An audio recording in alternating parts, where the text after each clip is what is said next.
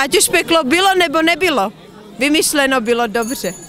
Známou frází nejznámější české čertovské pohádky z čerty nejsou žerty se nechali inspirovat organizátoři Mikuláše v lednici na hasičce.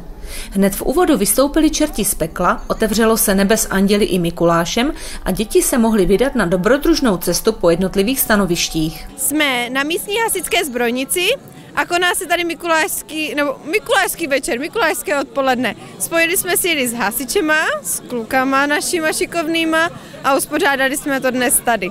Pořadatelem hlavním je obec Lednice, No a tím, že jsou dobrovolní hasiči taky naši obecní, takže i hasiči dobrovolní uh, ledničtí.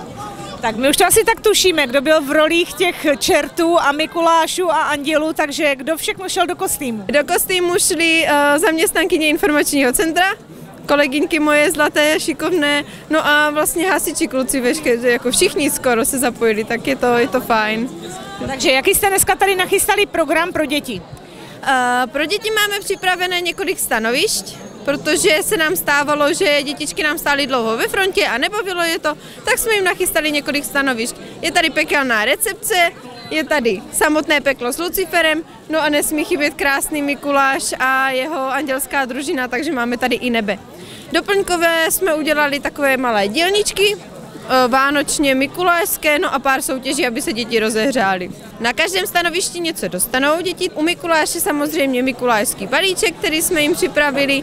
U čerta je to nějaké ovoce, v pekelné recepci asi nejspíš razítko na čelo, kam my zařadíme, kam my zrovna pošleme, jestli do nebe nebo do pekla. A chodí nám tady, nebo budou chodit malí andělci, kteří ještě doplní to, co si děti nevzali ze strachu třeba například.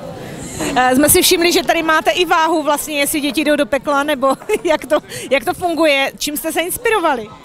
Uh, myslím, že všichni se inspirujeme asi tou jednou jedinou pohádkou z čerty nejsou žerty, to možná bylo slyšet i na začátku, teda doufám, že to bylo slyšet, takže asi to byla taková hlavní inspirace. A asi to má úspěch, vidím, že děti se hojně váží a hojně budou k nám do pekla všechny. Eliško, jak ty se těšíš na Mikuláše, Čerta a Anděla? Já se moc těším, moc jsem se těšila jsem a jsem ráda, že tady jsem. A koho máš nejradši z té trojce? Asi čerty.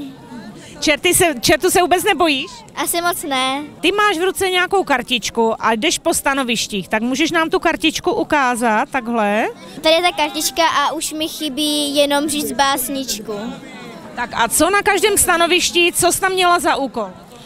Eh, třeba tady hrátky z čerty jsme hráli karty, eh, čertí eh, dráha, tak tam jsme tam jsme byli tam a tam jsme vlastně nám nám říkali, jestli jsme dobří, jestli jdeme do nebe nebo do pekla.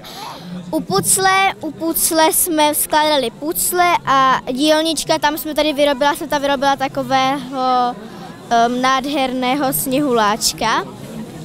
No a básnička Mikulášovi, tak to tam budeme říkat nějakou tu básničku, kterou jsme se naučili. Tak a máš připravenou nějakou básničku? Ano, mám. Takže řekneš nám ji?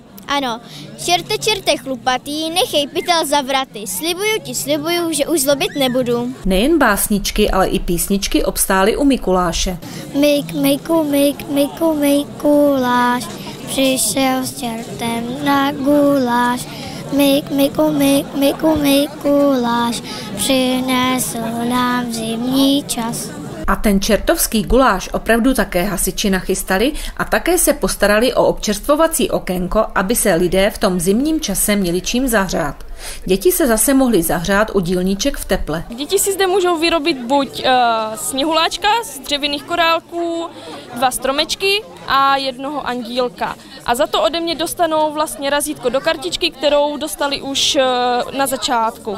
Pořádání Mikuláše má v Lednici již dlouholetou tradici. Opravdu spoustu let už děláme Mikuláše, začínali jsme na náměstí, děti recitovali na dvou mm, traktorových vlečkách, potažený kobercem, aby nespadly, eh, rozsvícel se u toho vánoční strom a od té doby je to, je to opravdu dlouho, nevím, 10-15 let.